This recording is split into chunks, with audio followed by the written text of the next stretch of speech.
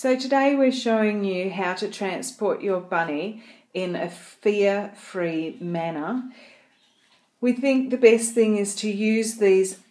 carry cages that open from the front and from the top and have them out so that your bunny is used to um, seeing them in the room, especially if you've got a house rabbit, making sure there's food around. Then we also need to provide a non-slip surface so um, we can put mats or carpets if it'll go through that would be great and put down so that when the bunny um, gets transported good man um, they're not slipping around. We can also use um, velcro so you can use velcro strips to